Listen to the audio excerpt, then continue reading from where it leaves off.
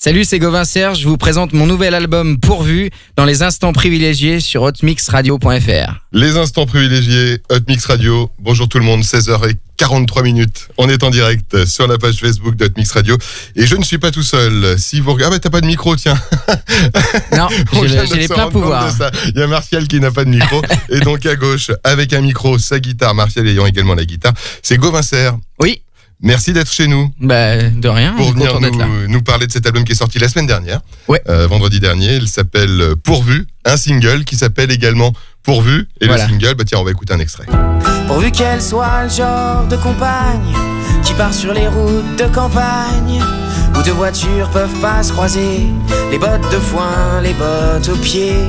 Pourvu donc le single et l'album. Moi je sais que la version avec deux guitares est vachement bien, sans le piano, ça marche très très bien puisqu'on l'a enregistré euh, tout à l'heure et ça sera le bonus euh, qui sera en plus euh, le 16 juin parce qu'on remettra ce Facebook Live dans une émission complète avec en bonus Pourvu. Mais comme vous êtes restés tous les deux, nous aurons quand même une autre chanson et je vous laisserai réfléchir euh, d'ici la fin de ce Facebook Live pour me dire laquelle vous souhait- souhaitez pardon, nous interpréter un album 14 titres, Ouais. euh, des concerts. J'ai imprimé la liste des concerts. J'ai- décidé de, de- de d'économiser des arbres tellement. Oh là là, j'ai mon micro qui part. Euh, tellement euh, il y en a. On commence par quoi? Par la rencontre avec Renaud, les premières parties, le premier album. Je sais même pas trop par quoi commencer tellement c'est ça me semble extraordinaire en fait. Bah, on peut commencer par les premières parties de Renault parce Ouais. que c'était avant le premier album. Donc on peut faire ça chronologiquement. C'est ça, Peut-être. Bah faisons. Alors, cette rencontre, comment ça s'est passé et, ça apporte quoi? Parce qu'il y a quand même un petit air Renault dans Gauvin.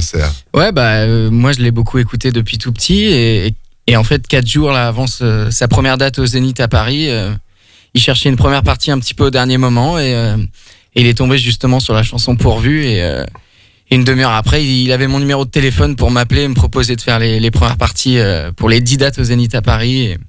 Ça a été un moment un petit peu un tournant en tout cas dans, dans mon début de carrière. Et ça a accéléré beaucoup de choses. Et finalement, on n'a pas fait que les dates à Paris, on a fait toute la tournée. Donc, on a fait 85 dates un peu partout en France, en Suisse, en Belgique. Et, euh, une- C'est c'est un truc de dingue quand même. ça a été une aventure complètement dingue, exactement. Et, et, et au milieu de tout ça, on a quand même réussi à enregistrer la- l'album. Et puis, euh, et puis voilà, c'est. Il est là, je vais te le passer, Ouais. tu vas pouvoir le montrer à Ah, tout puis là, le c'est monde. carrément le. C'est le vinyle, le on a vraiment de la chance, tu vas pouvoir l'ouvrir. Tiens, je Yes. te laisse, je te laisse montrer cet objet Alors, je sais magnifique. pas comment. Là, je suis bien ou pas? Ouais, là, je pense que t'es pas mal, ouais. Donc voilà. Et puis, euh, l'intérieur, Et s'ouvre. c'est un petit Ah. peu euh, mon histoire, c'est-à-dire le. Les champs et la ville. Voilà, les champs et la ville. euh, je suis porté un petit peu euh, depuis tout petit par, par la Creuse et puis je suis, je suis devenu euh, parisien. J'adore cette ville et du coup, voilà, ça représente bien tout ce que j'aime. Alors, il est également sur la platine à côté de moi. Tiens, juste, juste pour mon plaisir. je vais juste faire play pour qu'on ait le, le début du single. Ah bah, allez, Venant du vinyle, avec le petit craquement qui ouais, c'est vrai.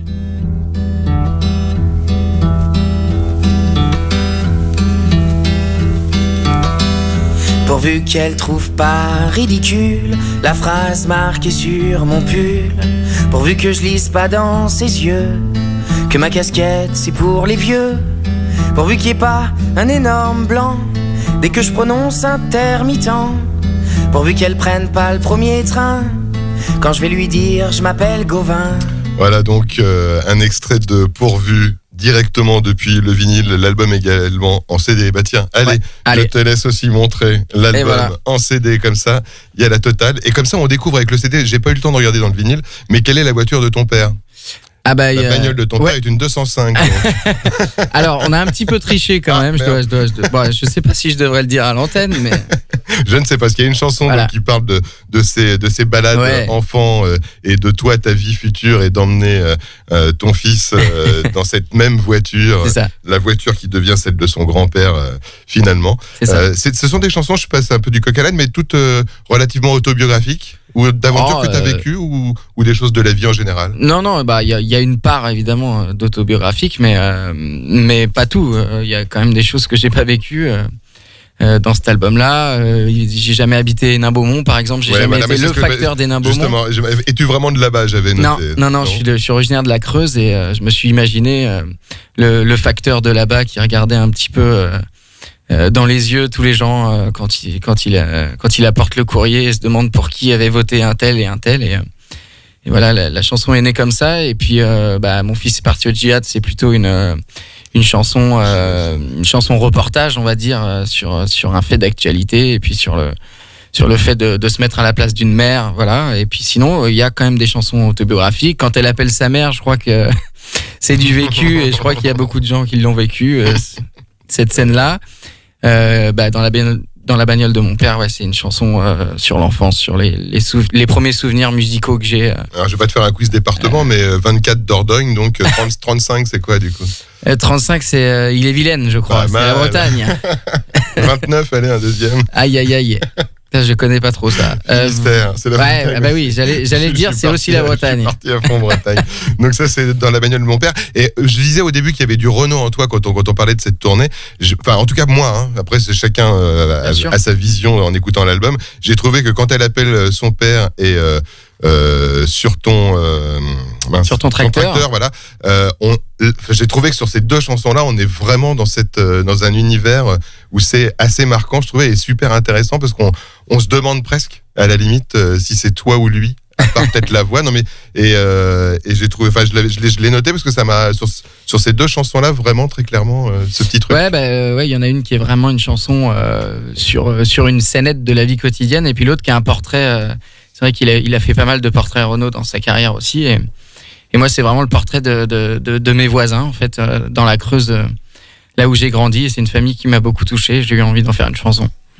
Voilà, donc 14 titres euh, sur cet album. Combien de temps de, de travail Tu disais que la tournée avec Renault avait commencé avant l'arrivée de l'album? Tu as fait les deux en même temps finalement ou- Mm, Bah, on avait enregistré déjà une, un, on va dire un tiers avant la tournée avec Renault et euh, on a enregistré le- les deux autres tiers euh, les lundis et mardis quand on jouait pas et, euh, et ça a été des, des mois assez chargés mais c'était bien justement de varier entre la entre la scène et le studio c'était sympa. Au bout du compte, c'est quoi le plus impressionnant de se retrouver sur scène avec Renault ou de se dire que je travaille sur mon album et, et, et là j'y vais? Euh, un peu les deux forcément la scène euh, la scène avec Renault les premières dates quand on arrive devant 6000 personnes ça, ça fait ça met une- quand même une bonne bonne claque.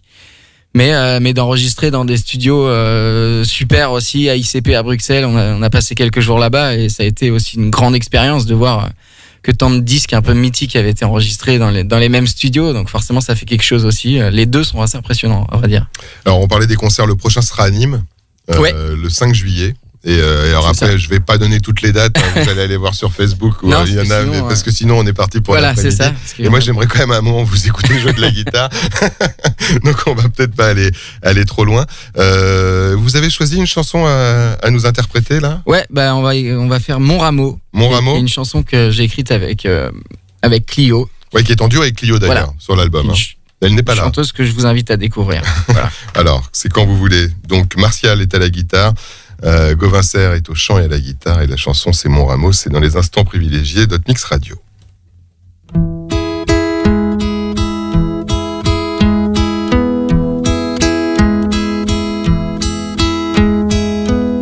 Je peux pas bouger, je suis déçu. J'ai toujours du monde plein les pattes. Les étudiants me grimpent dessus, sans aucun diplôme d'acrobate. Une petite vieille qui les regarde se demande que fait la police, sans remarquer qu'à l'avant-garde, le grand frisé c'est son petit-fils. La serveuse a laissé ses tasses et me regarde en souriant. Elle a rendez-vous sur la place avec un tout nouvel amant. Il y a le clodo du coin aussi, quand il a terminé sa bière, qui pour me tenir compagnie s'en vient pisser sur mon parterre. Même en hiver, je ne crains rien. J'ai toujours mon bonnet phrygien. Et puis cette foule que je vois d'en haut, quand elle m'entoure, ça me tient chaud.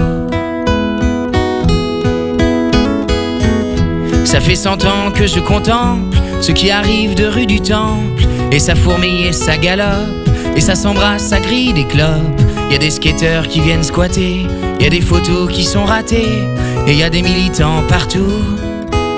Maintenant des militaires surtout. Le jour où l'orage a frappé, moi j'étais aux premières loges. J'ai entendu Paris pleurer et j'ai tremblé dessous ma toge. Il y en a pour me consoler, qui viennent allumer des bougies. Au moins ça me réchauffe les pieds et ça éclaire un peu mes nuits. Ils viennent me chanter des chansons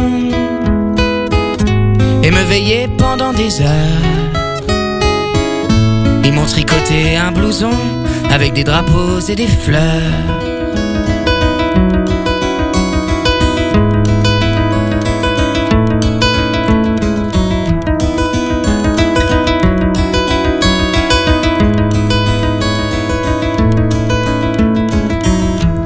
S'en prend au journaliste qui l'interroge pour BFM. Vous voyez bien que je suis triste, respectez-moi un peu quand même.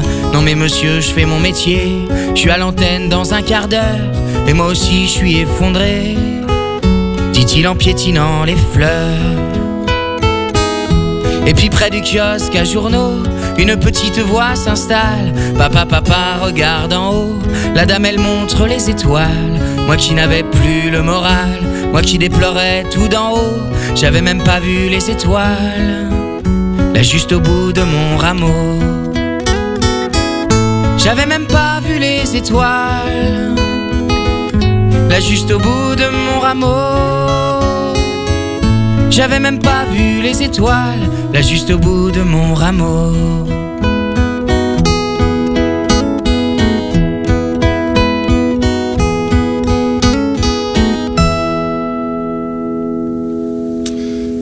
Sommes deux à pouvoir applaudir. enfin, ceci dit, vous pouvez vous applaudir. Moi, j'applaudis Martial.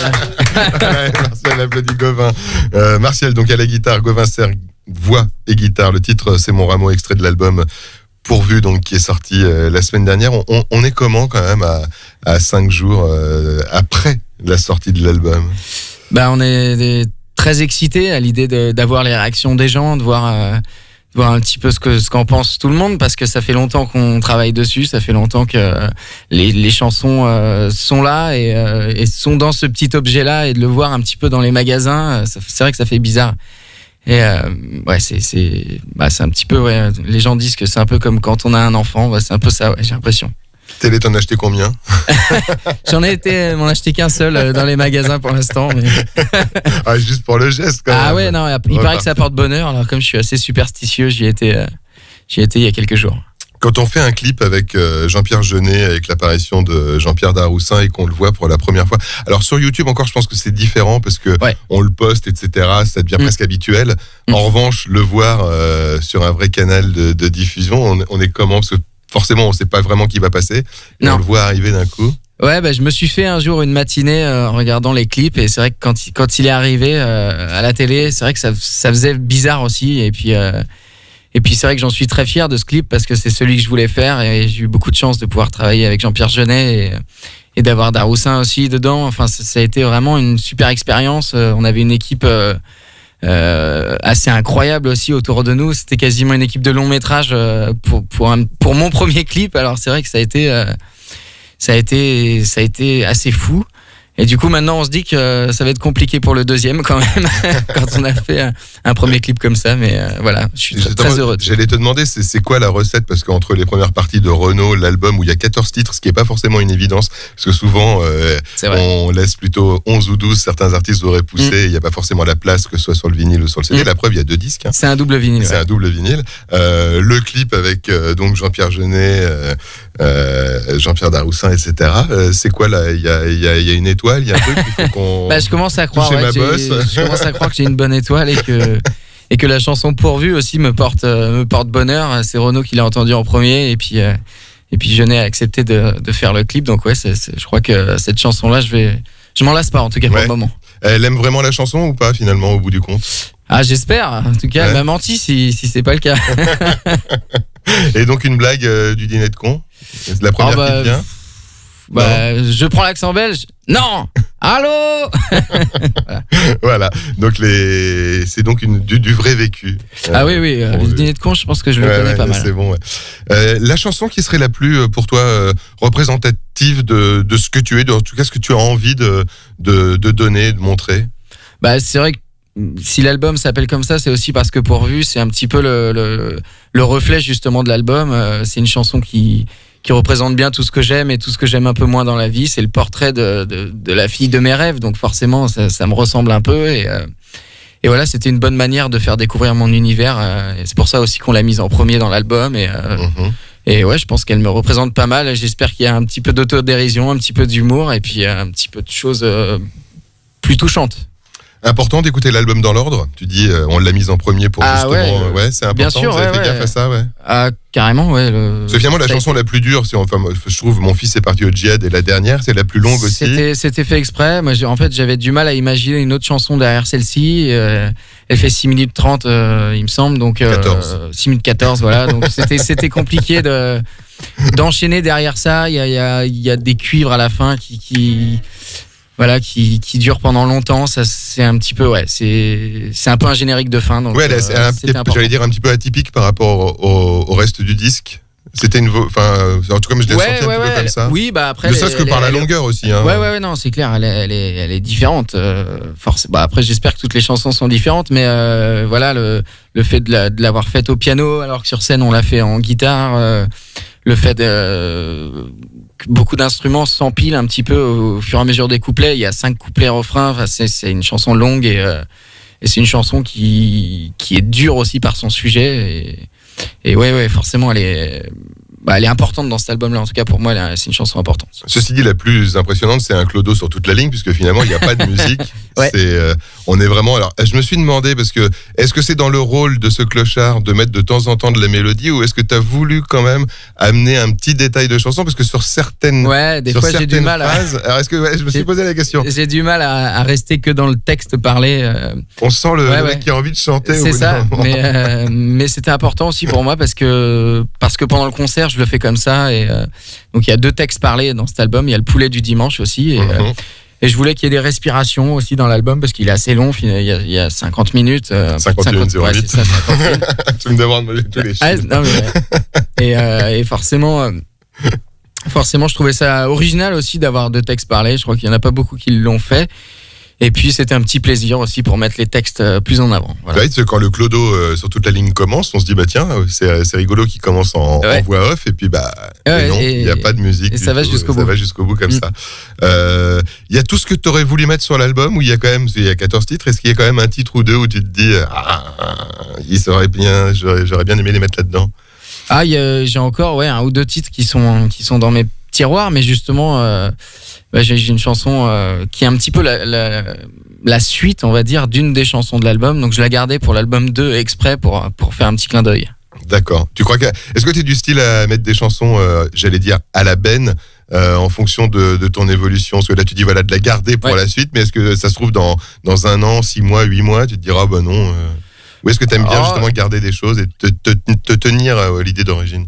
Non, je pense que je vais me tenir à ça parce que parce que j'aime cette chanson là, mais euh, mais par contre voilà, je suis c'est clair que pour l'album, euh, le prochain album, euh, je, je vais essayer de mettre des chansons euh, que j'aurais écrites entre les deux albums. Sinon, c'est un petit peu de la triche et, et puis ça montre, enfin, c'est pour montrer aussi une évolution dans l'écriture, dans la, dans la musique. Je crois que c'est important et, et, et pour essayer de passer à autre chose, je crois que c'est, ce sera plus inspirant, ouais, je pense. Entre la composition et ce qu'on a sur le sur l'album, il y a des chansons qui ont pris des tournures vraiment différentes par rapport à ce que tu avais comme idée avant de rentrer en studio. Pas tant que ça, Pas non, ça, finalement, euh, non, parce que on a justement voulu garder un petit peu ce qu'on fait sur scène avec euh, avec deux guitares d'une manière assez épurée. Alors forcément, il y a des chansons qui ont été un petit peu euh, qui ont été un petit peu enrobées avec des, des, des arrangements et de la réalisation et d'autres instruments, mais on a essayé de garder quand même une espèce de, de voilà de, de quelque chose de simple, d'épuré et puis euh, et puis de garder surtout les mélodies, les textes devant, le chant et, euh, et voilà. Donc à la limite celle qui bah, celle qu'on a le plus modifié, je dirais que c'est justement mon fils est parti au djihad où on a pris le euh, le piano et puis euh, la, la façon dont elle évolue aussi euh, est assez différente de ce qu'on fait sur scène. Très bien. Sur scène toujours deux? Pour l'instant, on est toujours deux Ouais. jusqu'à la fin de l'année. Ouais, le Ouais. but c'est de, de, de continuer comme Et ça. idéalement, formule. t'aimerais être combien? Bah après, est-ce que c'est l'idéal, ça se trouve bah, pour l'instant, c'est l'idéal. Ouais, on continue comme ça parce qu'on on aime bien et puis euh, et puis parce qu'on veut pas griller des étapes et euh, le but c'est qu'en 2018 on arrive avec une formation en groupe, euh, bah, la même avec laquelle on a enregistré l'album en fait, qui est euh, on était cinq, euh, deux guitares, euh, clavier, piano et puis basse batterie. Voilà. Donc à suivre. Ouais. Euh, dans quelques instants, on va faire euh, le question-réponse. Avant ça, je vais te faire écouter des extraits de quatre artistes qu'a priori tu aimes bien.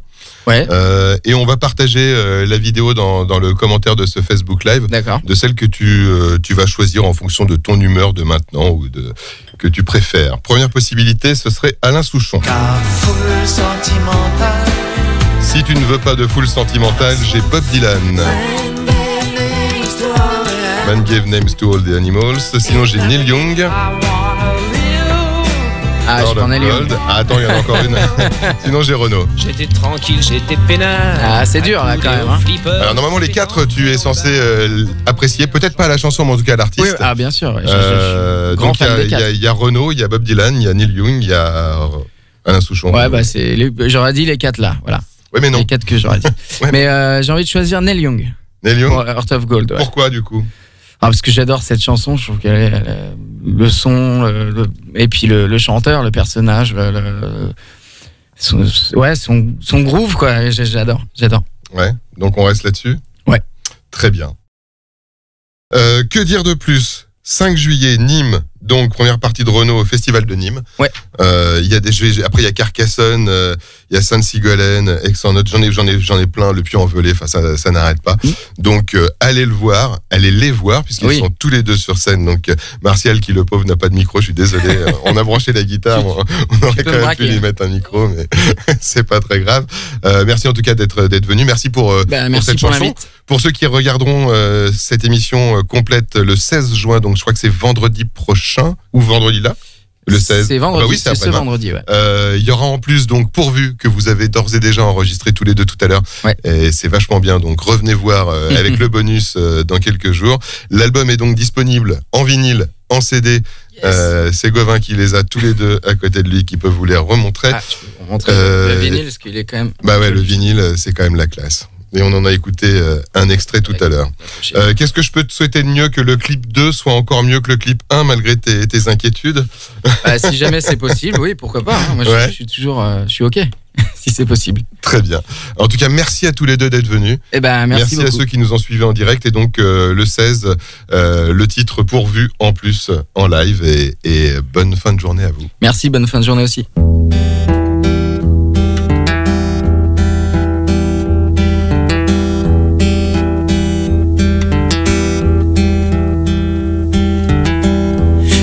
Qu'elle trouve pas ridicule la phrase marquée sur mon pull.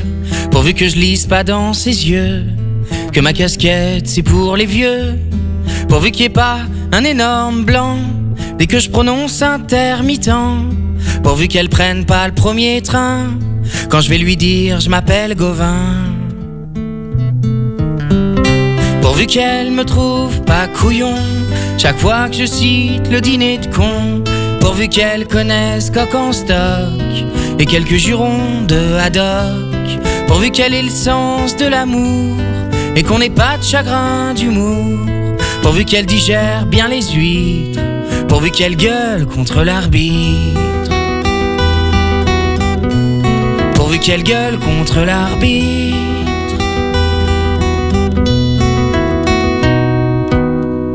Pourvu qu'elle lise les cartes Michelin, pourvu qu'on s'échange nos bouquins, pourvu qu'elle vole mon marque-page et qu'elle soit pas trop maquillage, pourvu qu'elle parle à mes copains, pour que ça devienne ensuite les siens, pourvu que son père soit pas le sosie de Donald Trump, je vous en supplie.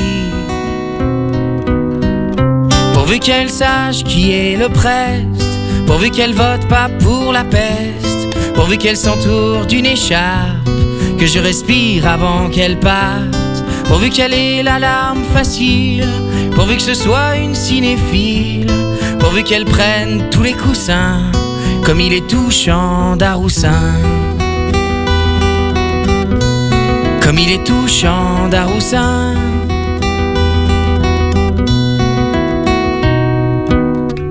Pourvu qu'elle soit le genre de compagne qui part sur les routes de campagne deux voitures peuvent pas se croiser, les bottes de foin, les bottes aux pieds. Pourvu qu'elle soit aussi de celles qui pensent à remplir leur cervelle, qu'elle penche plutôt vers Modiano, qu'elle penche pas trop vers Morano. Pourvu qu'elle veuille beaucoup de gamins, c'est dingue d'avoir des si petites mains. Pourvu qu'elle se moque un peu de moi Sur ma coupe au bol d'autrefois Pourvu qu'elle pianote le matin La BO d'Amélie Poulain. Et pourvu qu'elle aime cette chanson Autant que la voix de Gérard Darmon